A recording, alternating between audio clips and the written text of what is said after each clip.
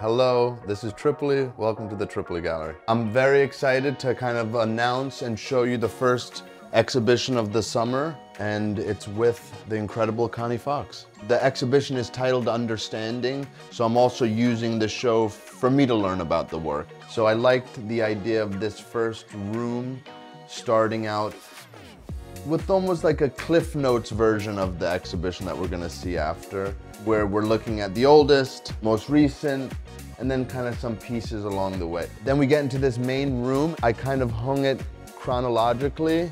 So we have the first painting from 1980, 81, 1983, 1984, 1987, 94, and 99.